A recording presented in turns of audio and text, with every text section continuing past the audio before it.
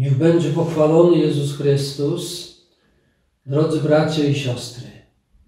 Dzieło dwunastu gwiazd w koronie Królowej Pokoju to apostolat prowadzony przez Stowarzyszenie Comunità Regina della Pace. W tym apostolacie chodzi o utworzenie dwunastu światowych centrów modlitwy o pokój poprzez adorację Jezusa w Najświętszym Sakramencie.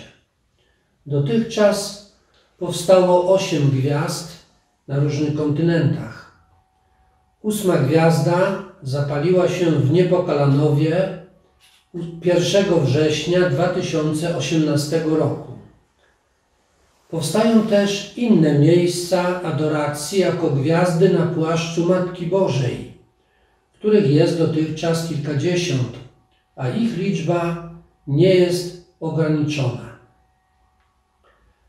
Co oznacza modlitwa o pokój poprzez adorację Najświętszego Sakramentu? Pokój, jak wiemy, to nie tylko brak konfliktów wojennych. Prawdziwy pokój, który oznacza pojednanie z Bogiem, z ludźmi i z samym sobą, może nam dać tylko Jezus. Pokój mój daję wam, pokój zostawiam wam. Nie tak jak daje świat, ja wam daję. Trwając na modlitwie przed Najświętszym Sakramentem, napełniamy się pokojem i w ten sposób stajemy się narzędziami Bożego pokoju. Jednocześnie przynosimy Panu Jezusowi przed Jego eucharystyczny tron wszystkie intencje naszych bliskich, naszych krajów, Kościoła Świętego i całego świata. Boży pokój tak bardzo potrzebny jest naszym rodzinom, aby trwały w jedności i miłości, naszym społeczeństwom i krajom, aby mogły się rozwijać na fundamencie prawdy i dobra. Potrzebny jest Kościołowi Świętemu, aby wilki nie były w stanie zagrozić Bożej owczarni.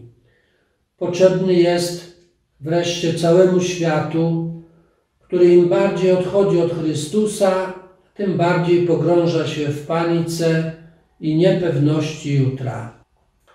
Istnieje bardzo głęboki związek pomiędzy obroną świętości życia a pokojem w świecie.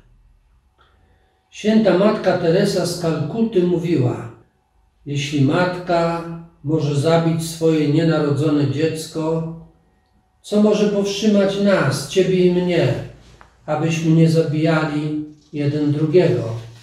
Dlatego modlitwa o pokój poprzez adorację Najświętszego Sakramentu jest też wołaniem do Pana Boga o poszanowanie przez wszystkich świętości ludzkiego życia, od momentu poczęcia do naturalnej śmierci. Oblicza się, że podczas II wojny światowej zginęło minimum 70 milionów ludzi. Była to wielka tragedia.